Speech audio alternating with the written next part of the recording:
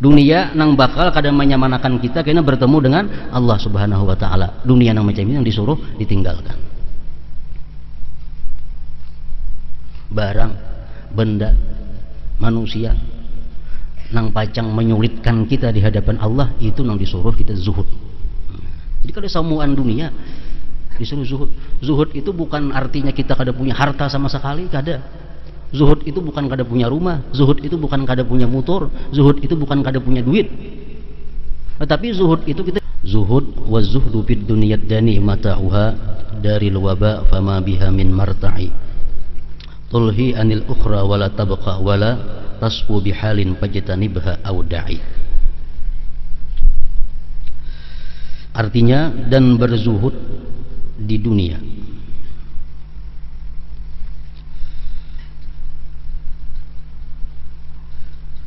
yang rendah kenikmatannya.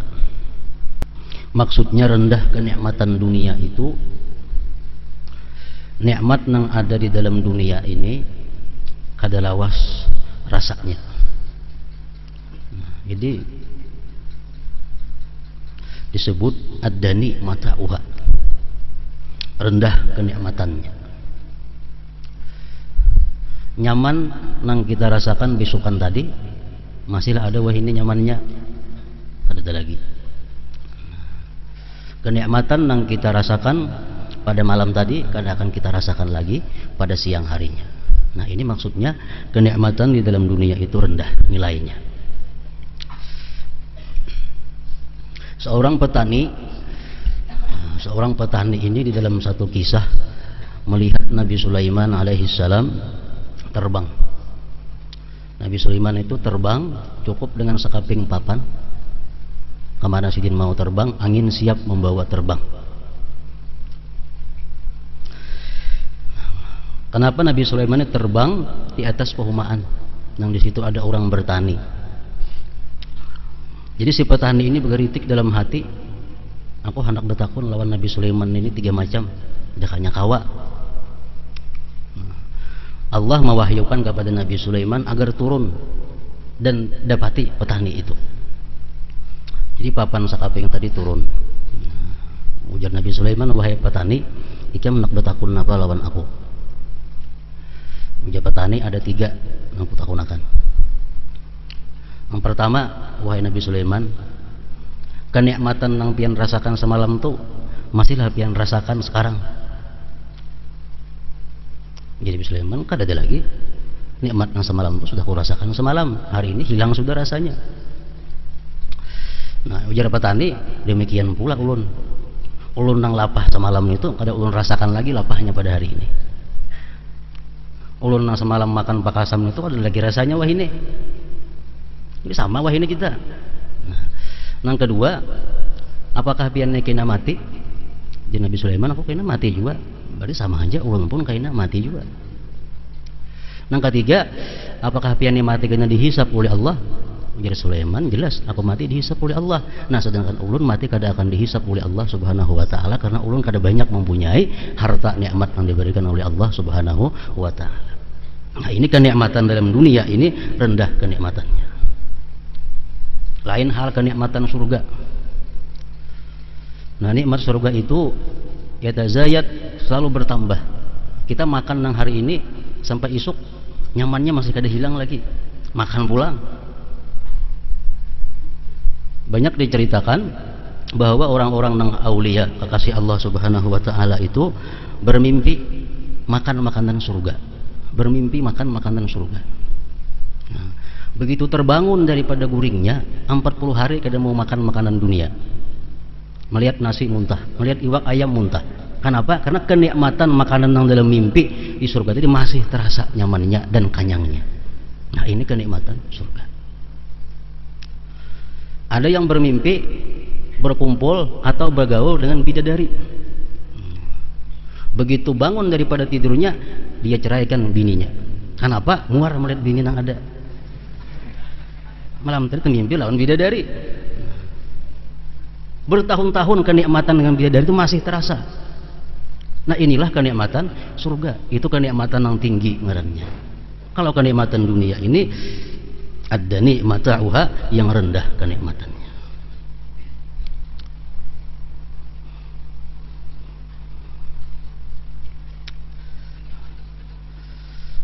Negeri yang penuh dengan wabah penyakit.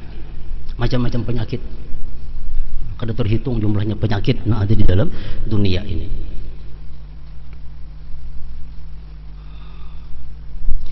Dan tidak satupun kenikmatannya yang di dalam dunia ini sempurna kada ada artinya apa-apa nikmat yang kita rasakan dalam dunia ini akibatnya membawa kepada kada baik. Orang nang nikmat dengan gula ketujuh makan manis manis karena tuhannya akhirnya karena penyakit gula kencing manis. Orang nang ketujuh makan daging ujung-ujungnya karena darah tinggi. Orang ketujuh makan hintalo ujung-ujungnya kena kolesterol tinggi. Nah semua nikmat nang diberikan Tuhan dalam dunia ini kada sempurna.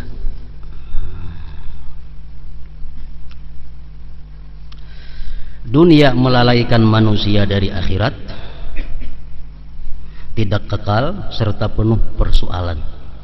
Maka jauhi dan tinggalkanlah. Nah ini pengertiannya. Syair yang disusun oleh Al-Habib Abdullah bin Alawi Al-Haddad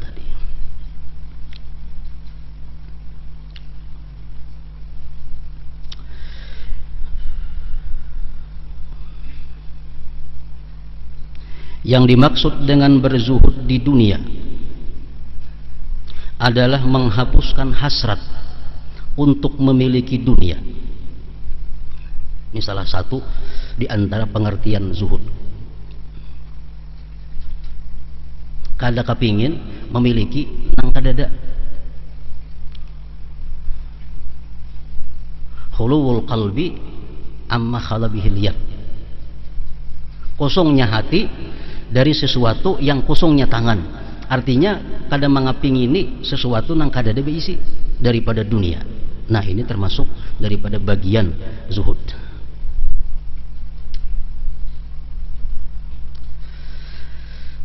Menghapuskan hasrat untuk memiliki dunia karena menyadari bahwa dunia ini sangat rendah. Penuh tipu daya. Akan segera musnah dan melalaikan manusia sehingga mereka tidak mengabdi kepada Allah Ta'ala dan tidak beramal untuk negeri akhirat.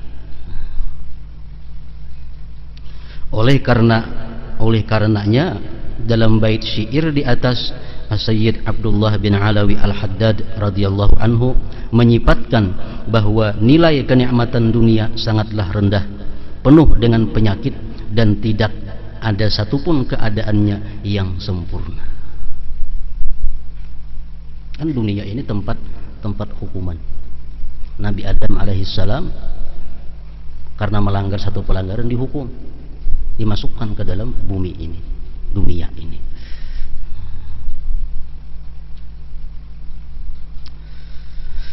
Dalam bait berikutnya beliau radhiyallahu anhu menyatakan bahwa dunia selalu membuat manusia lalai terhadap akhirat yang menjadi tempat kembalinya kelak. Tempat tinggal yang abadi, negeri yang kekal, tempat siksa dan kenikmatan. Kenapa kita kulir kada baca Al-Qur'an gara-garanya urusan dunia. Kenapa sembahyang tertunda daripada waktunya urusan dunia? Kenapa kadang mengaji, kadang menuntut ilmu gara-garanya adalah urusan dunia? Kenapa sampai menggawin yang diharamkan Allah urusan dunia? Nah, jadi dunia ini adalah melalaikan kita terhadap akhirat. Di samping itu dunia tidaklah kekal dan tidak ada satupun keadaannya yang jernih bahkan kebahagiaan yang terdapat di dunia ini selalu bercampur kesedihan.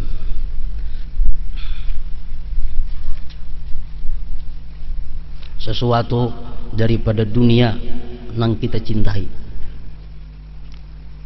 Kita mesti ingat sesuatu itulah kainanya yang bakal menyedihkan kita. Sesuatu dalam dunia yang sangat kita sayangi. Itulah kainnya yang maulah banyu mata kita keluar ketangis jadi semakin kita mencintai sesuatu daripada dunia, itu juga kayaknya nama ulah kita sakit. Yang Kenapa? Karena kita sayangi, nang kita cintai daripada dunia. Kita yakin pasti berpisah lawan inya, ima inya berdahulu atau kita berdahulu. Nah saat perpisahan itulah yang membuat kita paling sedih. Orang-orang yang hubbud dunia dalam sakaratul maut menemukan kepedihan-kepedihan yang luar biasa. Kenapa sebabnya? Karena berpisah dengan hal-hal yang banyak yang dicintainya. Orang tuh kada hendak mati, orang takutan mati karena banyak punya kenikmatan-kenikmatan dunia matinya itu yang paling sedih makin banyak yang kita sayangi dalam dunia ini makin banyak kesedihan kita di waktu sakaratul maut orang yang paling kita sayangi itulah yang paling menyedihkan kita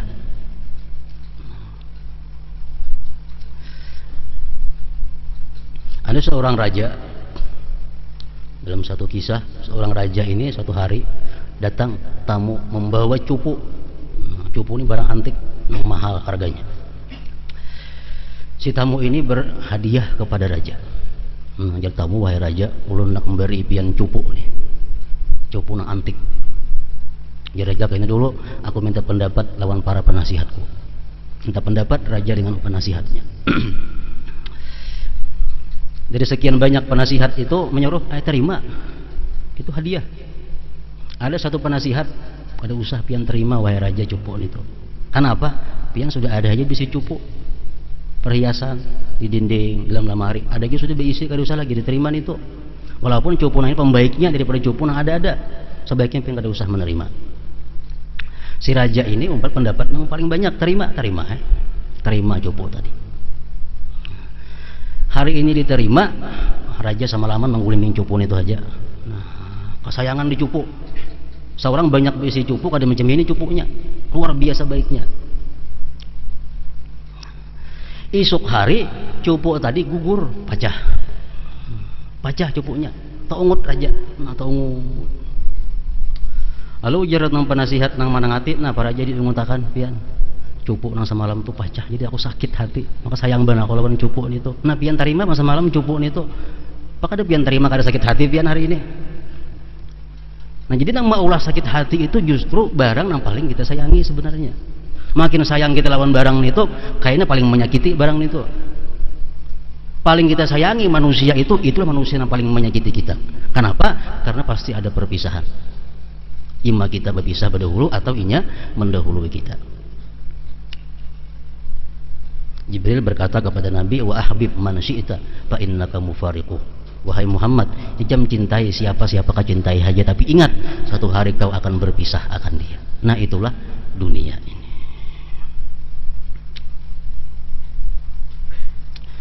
Oleh karena itu sudah sewajarnya jika dunia ini dijauhi dan ditinggalkan. Sebagaimana ucapan Sayyid Abdullah bin Alawi Al-Haddad radhiyallahu anhu di atas, maka jauhilah dan tinggalkanlah. Beliau radhiyallahu anhu telah mencela dunia dan menyifatkannya sebagaimana yang disifatkan oleh Allah taala. Dalam satu riwayat disebutkan orang mati. Nah, orang mati ini begitu dikubur malam pertama sampai beberapa malam berikutnya rohnya itu masih kuliling-kuliling di rumahnya. Melihat orang membagi-bagi hartanya. Dahulu sayang harta itu dibagi-bagi orang. Sepeda motor motor disayangi dipakai orang dibagi-bagi orang. Makin sedih apabila makin mencintai dunia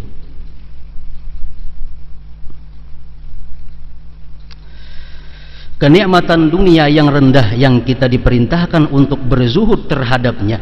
Dunia yang macam apa kita disuruh meninggalkannya. Dunia yang macam apa kita disuruh jangan memilikinya. Dunia yang macam apa yang disuruh kita jangan mencintainya kenikmatan dunia yang rendah yang kita diperintahkan untuk berzuhud terhadapnya adalah setiap bagian dari dunia ini yang tidak dapat digunakan untuk mendekatkan diri kepada Allah Ta'ala dan tidak berguna ketika berjumpa dengannya dan kembali kepadanya. Ini dunianya yang macam itu. Dunia nang pacang kada membawa manfaat di akhirat. Ini yang disuruh jangan dicintai dunia nang bakal kadang menyamanakan kita karena bertemu dengan Allah subhanahu wa ta'ala. Dunia nang macam ini yang disuruh ditinggalkan. Barang benda manusia nang pacang menyulitkan kita di hadapan Allah itu nang disuruh kita zuhud. Jadi kalau samuan dunia disuruh zuhud. Zuhud itu bukan artinya kita kada punya harta sama sekali kada zuhud itu bukan kada punya rumah zuhud itu bukan kada punya motor zuhud itu bukan kada punya duit tetapi zuhud itu kita disuruh menghilangkan sesuatu nang bakal memudaratkan kita di hadirat Allah Subhanahu wa taala. Ini ngarannya zuhud.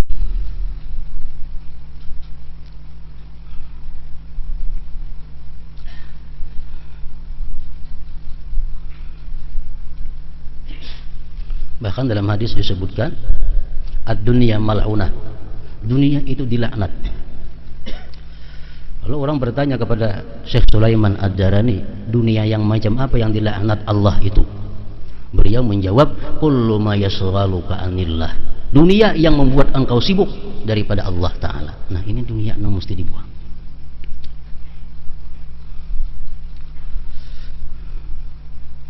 mau, mau urus ini gara-gara kita mau urus ini nah yang tertunda yang kada berjamaah. Nah ini dunia yang mesti disingkirkan.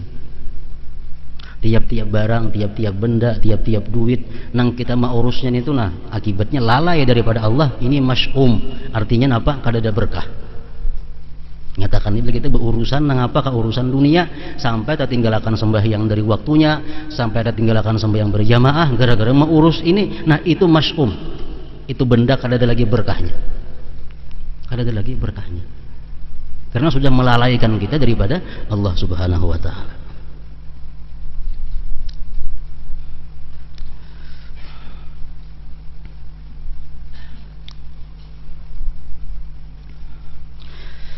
yaitu hal-hal yang telah disebutkan dalam firman-Nya minan nisa wal banina wal qanatiril muqantarah minadh dhahabi wal fiddah wal khailil musawwamah wal an'am wal harthi dzalika mata'ul hayatid dunya wallahu 'indahu husnul ma'ab. Dunia-dunia yang biasanya yang kebanyakannya melalaikan seseorang daripada Allah dari wanita-wanita. Ini laki-laki membini-bini artinya pria-pria anak-anak harta yang banyak dari jenis emas dan perak kuda pilihan binatang-binatang ternak dan sawah ladang. Itulah kesenangan hidup di dunia. Ini yang kebanyakan manusia lalai daripada Allah subhanahu wa ta'ala.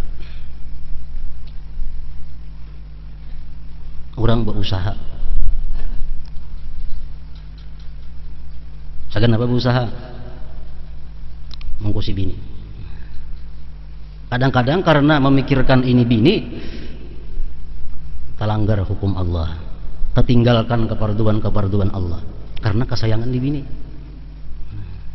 Bini sudah cukup anak. Segan anak. Anak cukup segan cucu. Nanggali cucu kayak nangalih.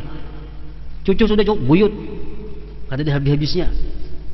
Nah itulah dunia yang banyak melalaikan kita daripada Allah itu adalah nisa, banin dan kanatiril mukantara.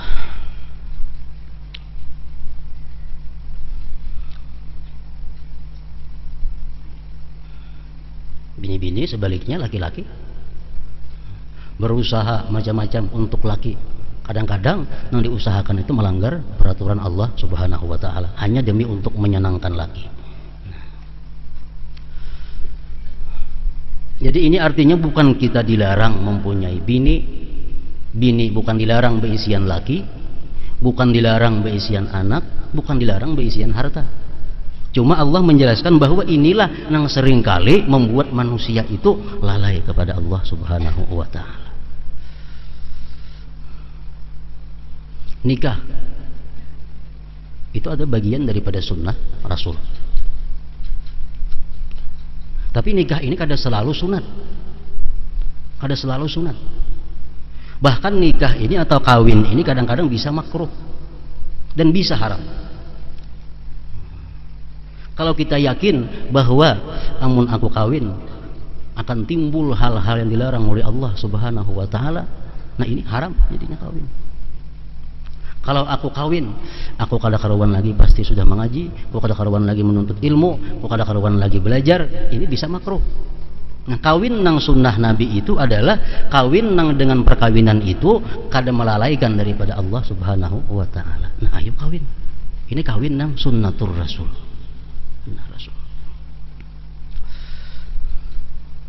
Seorang perempuan datang kepada Rasulullah, "Wahai Rasulullah, ulun dipaksa nak dikawinakan." Ujar perempuan, "Apa garang? Men ulun kawin itu apa-apa hak laki terhadap ulun. Apa-apa yang harus ulun perbuat untuk laki." Ya Nabi ini, ini, ini. kalau ikam menjadi bini ikam harus jam ini harus jam ini harus jam ini harus jam ini nah si perempuan ini merasa kada sanggup kalau itu jadi bini nah kalau itu wahai Rasulullah ulun kada jadi kawin nah, kenapa karena anggaran kada sanggup melaksanakan tugas yang diwajibkan Allah kepada seorang istri nah kayak ini aja maksudnya zuhud kita ada harta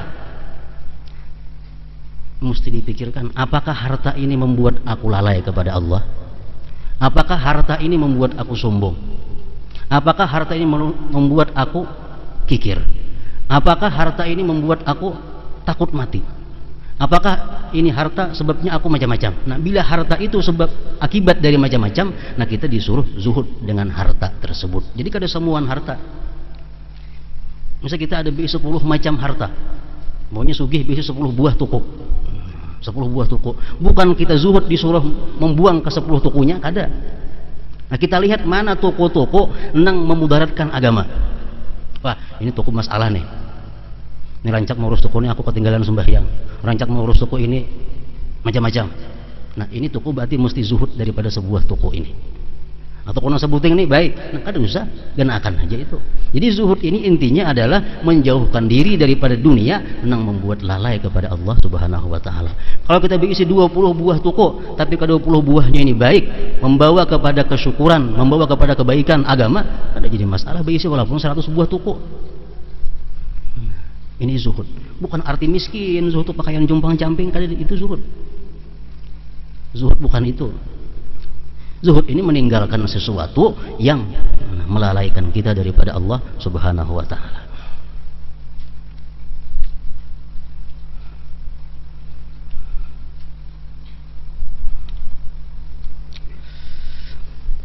Qul a'unabbi'ukum bi khairin min dhalikum lilladzina ittaqaw 'inda rabbihim jannatun tajri min tahtiha al-anhar khalidina fiha wa azwajun mutahharatu wa ridwanun minallah wallahu basirun bil ibad.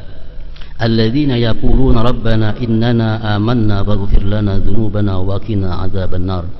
الصابرين والصادقين والقانتين والمنفقين والمستغفرين بالأسحار. شهد الله أنه لا إله إلا هو والملائكة وأولو العلم قائما بالقسط. لا إله إلا هو العزيز الحكيم. Ini sambungan ayat tadi. Katakanlah wahai Rasul firman Allah. Inginkah aku kabarkan kepada kalian apa yang lebih baik dari yang demikian itu? Bini, anak, harta. Untuk orang-orang yang bertakwa kepada Allah pada sisi Tuhan mereka. Ada surga yang mengalir di bawahnya sungai-sungai. Ada surga yang mengalirnya di bawah sungai-sungai. Ini untuk mereka-mereka yang mampu zuhud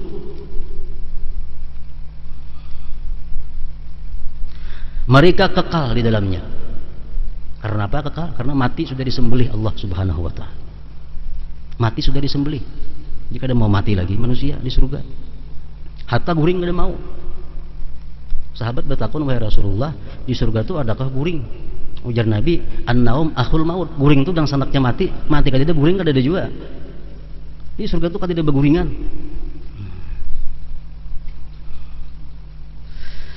dan mereka dikaruniai istri-istri yang disucikan. Istri-istri yang disucikan. Baik bidadari atau istri-istri dunia. Yang disucikan dari apa? dari haid. Disucikan daripada nifas. Disucikan daripada segala macam kotoran-kotoran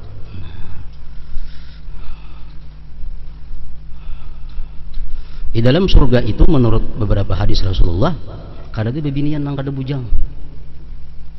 Kulluhunna abkar, samuan perempuan dalam surga itu adalah gadis. Gadis, samuan gadis dan suci daripada haid dan nifas. anak beranak kayak apa wahai Rasulullah menjadi sahabat dalam surga itu dan Nabi begitu berkumpul betianan beranak saat itu juga tanpa ada rasa sakit dan tanpa ada nifas anak berapa puluh anak Cuma banyaknya bini di dalam surga yang kita miliki, banyaknya bidadari dalam surga yang kita miliki, tergantung banyaknya amal salih dalam dunia yang kita perbuat. Amal salih itu muhurul hurul ain, amal salih itu adalah penjujurannya bidadari. Makin banyak amal salih, makin banyak berisi bidadari. Sahabat bertanya, wahai Rasulullah, bidadari terbuat dari apa? Bidadari terbuat dari apa? Ujar Nabi, bidadari terbuat daripada misik dan ambar. Jadi bidadari itu dibikin oleh Allah daripada bahannya misik dan ambar. Makanya haram harum belalawasan. Lain manusia. Manusia dibuat daripada ma'in mahin, air nang hina. Makanya bau kada nyaman belalawasan. Coba nggak ada minyak harum. Sehari aja ada minyak harum kata hawan awak kita kenapa? Karena memang diulah daripada air nang bau. Nah lain hal bidadari diulah daripada misik dan ambar dan mereka dikaruniai istri-istri yang disucikan Rasulullah mengatakan bahwa perempuan-perempuan dunia ini kalau masuk ke surga itu umurnya sama semuaan rata nang mati umur 60 70 tahun sok surga kayaknya 30-an aja. Nang mati umur 16 17 bini-bini tak surga bertua sedikit jadi umur 30-an juga. Laki-laki pun kayak itu juga. Nah kalau bidadari itu ada nang tuha ada nang anom kayak apa kita ketujuh nah hendak? Itu bidadari.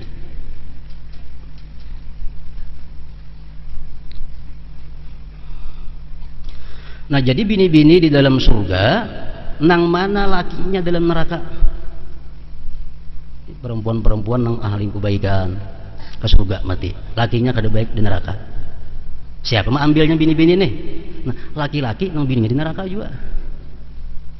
Laki-laki yang baik ke surga, bininya yang kada baik dalam dunia masuk neraka. Nah, pasangannya kayaknya siapa? Bini-bini yang lakinya di dalam dalam neraka.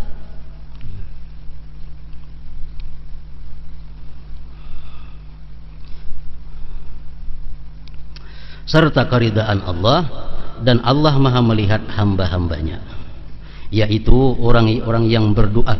Wahai Tuhan kami sesungguhnya kami telah beriman maka ampunilah segala dosa kami dan peliharalah kami dari siksa neraka yaitu orang-orang yang sabar yang sidik jujur yang tetap taat dalam keadaan susah atau senang yang menafkahkan hartanya di jalan Allah dan memohon ampun di waktu sahur Allah menyatakan bahwasanya tidak ada Tuhan yang berhak disembah melainkan Dia yang menegakkan keadilan. Para malaikat dan orang-orang yang berilmu juga menyatakan demikian. Tidak ada Tuhan yang berhak disembah melainkan Dia yang Maha Perkasa dan Maha Bijaksana. Surah Ali Imran ayat 15 sampai 18. Dunia. Nah, apa arti dunia? nang dicela. Nang kita disuruh menjauhinya jangan mencintainya. Adalah segala sesuatu yang melalaikan manusia dari Allah dari pengabdian kepadanya dan dari akhirat. Itu dunia nang dicela. Gawian. Amun kita bagawi ini tagawi maksiat sudah kata kawa kada nah mesti zuhud daripada pekerjaan itu. Makanya zuhud ini ada nang wajib. Zuhud ada nang wajib. Itu apa? Zuhud yang wajib ini meninggalkan dunia yang membuat ini melanggar hukum Allah. Ini zuhudnya wajib.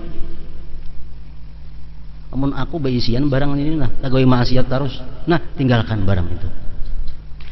Aku begawi di sini tagawi maksiat terus begawi di sini kada kawa kada berdusta begawi di sini kada kawa kada menguli orang. Tinggalkan pekerjaan itu. Ini zuhud yang wajib ada zuhud yang sunat. Nah zuhud yang sunat ini adalah aku begawi ini sembahyang ada kau berjamaah aku bagawin ini banyak tak perbuat nang makruh makruh nah meninggalkan pekerjaan itu termasuk zuhud yang disunatkan. Zuhud yang disunatkan.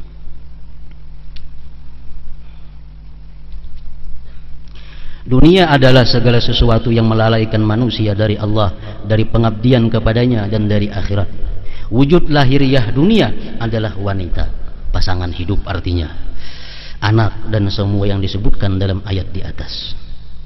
Sedangkan bentuk batin dunia adalah keinginan syahwat nafsu untuk memperoleh semua itu.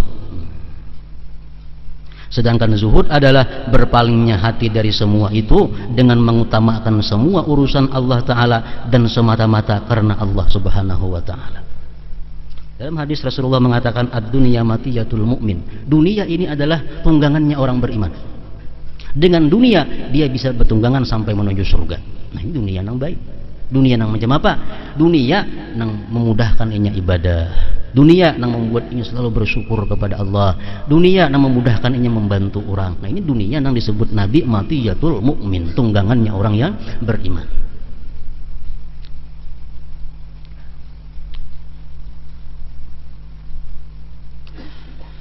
Allah berfirman darul akhirah naj'aluha lil ladzina la yuriduna 'uluwan bil ardi wala fasada wala akibatu lil muttaqin. Negeri akhirat itu surga. Kami jadikan untuk orang-orang yang tidak ingin menyombongkan diri dan berbuat kerusakan di muka bumi. Dan kesudahan yang baik itu adalah bagi orang-orang yang bertakwa. Karena orang-orang yang bertakwa itu akibatuhul jannah war ridha, akibatnya surga dan keridhaan Allah Subhanahu wa taala. Al-malu wal banunu zinatul hayatid dunya wal baqiyatus salihatu khairun 'inda rabbika wa khairun amala. Harta dan anak-anak adalah perhiasan kehidupan dunia. Sedangkan amalan-amalan yang kekal lagi salih adalah lebih baik pahalanya di sisi Tuhanmu Serta lebih baik untuk dijadikan harapan. Disebutkan Nabi Sulaiman Riwat dengan pasukannya Dikawal oleh beberapa pengawal-pengawal Dengan unta-unta, kuda, macam-macam tunggangan kalau ada seseorang berkata, mudahan aku dapat seperti Nabi Sulaiman. Nabi Sulaiman mendengar ujar Nabi Sulaiman, wahai fulan, semua yang aku miliki ini jauh lebih baik satu kali tasbih daripada apa yang aku miliki. Kenapa? Karena tasbih itu adalah kekal, sedangkan yang aku miliki ini akan habis binasa. Seluruh harta yang dimiliki oleh Nabi Sulaiman lebih baik, subhanallah lebih baik sekali subhanallah. Orang yang mampu membaca subhanallah sekali lebih baik daripada memiliki seperti harta yang dimiliki oleh Nabi Sulaiman.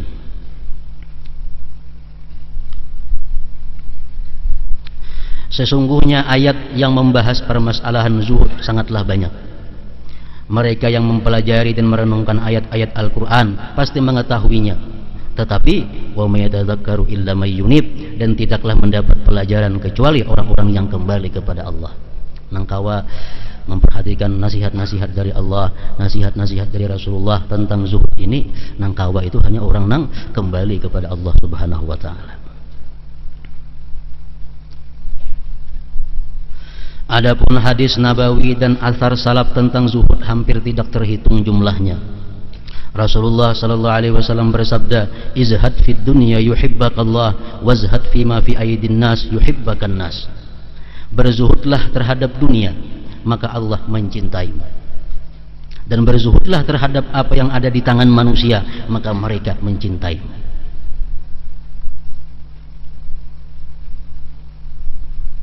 Para ulama ahli sufi berkata, "Innallaha yu'ti zahid fawqa ma yurid." Wa yu'til 'arif muwafaqata ma yurid. Wa yu'tir ragib duna ma yurid. Hmm.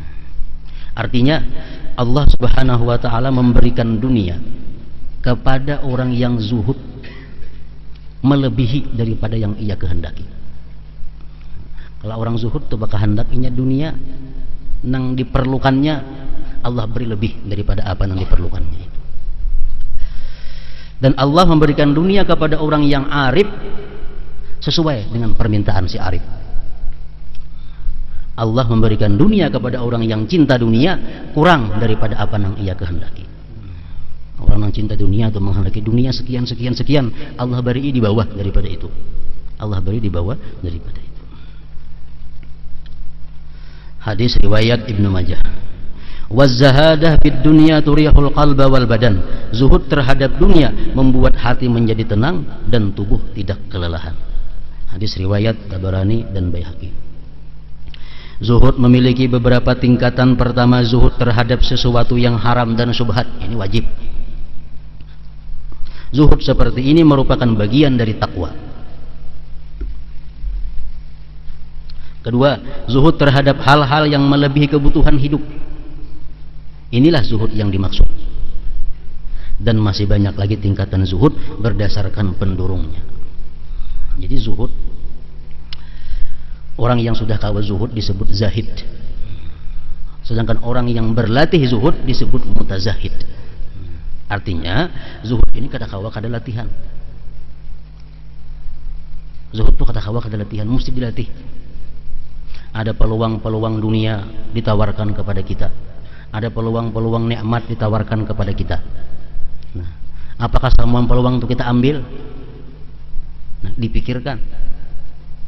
Kalau ini ku ambil panjang banyak masalah. Menggaduhnya memeliharanya. Banyak karena Allah dilewatkan Allah dilupakan. Nah berarti ini mesti ditinggalkan. Nah ini zuhud. Orang mutazahid itu orang yang mengusahakan zuhud. Ini bersusah payah agar bisa zuhud. Masih kepingin dengan dunia masih sayang dengan dunia. Cuma dia paksa zuhud. Nah ini mutazahid. Nah sudah inya bisa dengan lapang hati menyisihkan dunia dan mengganggu inya hanya disebut zahid orang yang zuhud.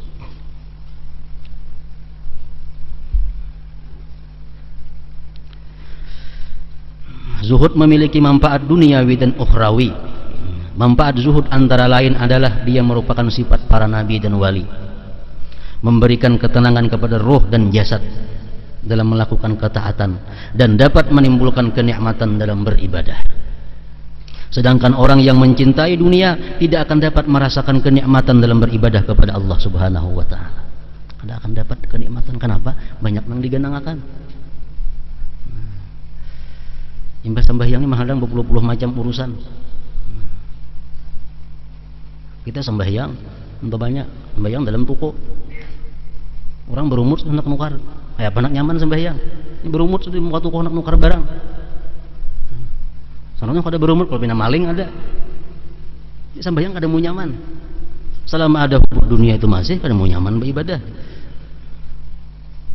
Sedangkan orang yang mencintai dunia tidak akan dapat merasakan kenikmatan dalam beribadah kepada Allah Subhanahu wa taala.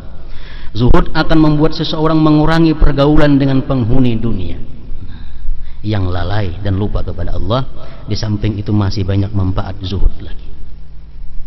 Nah, jadi supaya kawa bersifat dengan zuhud. Nah, pertama banyak membaca tentang dunia dan membaca tentang surga atau akhirat. Oh dunia kayak ini kayak ini kayak ini kayak ini. Sedangkan surga akhirat kayak ini kayak ini kayak ini kayak ini tadi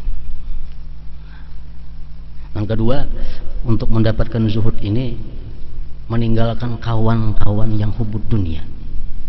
Karena kawannya sangat mempengaruhi. Meninggalkan kawan yang hubud dunia. Kalau kita hendak dapat zuhud. Yang ketiga mengawani orang-orang salihin. Mengawani orang-orang yang takwa kepada Allah subhanahu wa ta'ala. Nah tiga perkara itu. Pokok agar bisa zuhud banyak membaca tentang sebab penyakit-penyakit dunia. Banyak membaca tentang kenikmatan-kenikmatan yang disediakan Allah jika kita berpaling daripada dunia. Yang ketiga sehari-hari kita bergaul berkawan dengan orang yang sudah takwa yang ahli ibadah kepada Allah subhanahu wa ta'ala. Seorang ulama berkata zuhud seorang muslim di alam mulki ini yaitu zuhud terhadap jagat raya yang merupakan hijab terjauh ini zuhud yang paling rendah zuhud terhadap dunia. Zuhud seorang mukmin di alam jabarut adalah terhadap dirinya sendiri yang merupakan hijab terdekat. Nah, dia zuhud dengan zuhudnya. Ada orang yang bangga dengan zuhudnya dikeluarkan daripada gulungan zuhud. Ini zuhud tapi bangga dengan zuhudnya. Dia mengagung-agungkan kezuhudannya. Ke mana-mana dia cerita tentang zuhudnya. Nah Seorang mukmin di alam jabarut adalah terhadap dirinya sendiri yang merupakan hijab terdekat.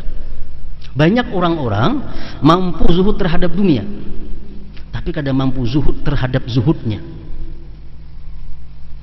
Ada ini rezeki peluang dunia ditolak. Ada peluang ini ditolak. ada peluang ini dijauhkan ada BIC ini diberiakan banyak yang mampu macam itu tapi sedikit yang mampu zuhud terhadap zuhudnya nah kayak ini berkisah aku ada ini kutolak aku ada dapat ini kuberiakan. Aku ada dapat ini kujauhkan.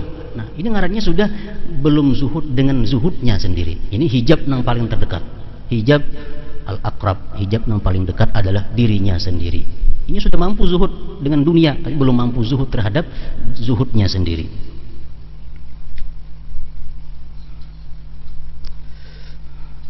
Nah lain orang mengisahkan lain orang mengisahkan tuh kada termasuk. Tadi si Ano diberi orang ada mau menerima nah ini orang mengisahkan ada jadi masalah. Nang jadi masalah ini adalah dirinya sendiri mengisahkan tentang kezuhudannya. Nah ini nang terkeluar daripada gulungan zahidin. Keluar. Zuhud seorang muhsin di alam malakut adalah terhadap segala sesuatu selain Allah. Ya zuhud walaupun dengan surga ditolaknya, bidadari ditolaknya, gedung-gedung surga ditolaknya. Ya zuhud kepada semuaan itu. Nang inya kehendaki adalah hanya Allah Subhanahu wa taala. Nah, pada saat itulah hijab para sufi tersingkap. Sebenarnya zuhud adalah rendahnya nilai dunia dalam hati seseorang seorang zahid akan mengimpakkan hartanya untuk Allah dan kepentingan akhirat dengan senang hati dan dengan tidak terpaksa. Memang di awal zuhud manusia akan merasa keberatan untuk mengimpakkan hartanya, tetapi hal ini dapat diatasi dengan cara melatih diri dengan penuh kesabaran. Ada kawak ada latihannya zuhud ini. Nah kemudian sabar dan syukur.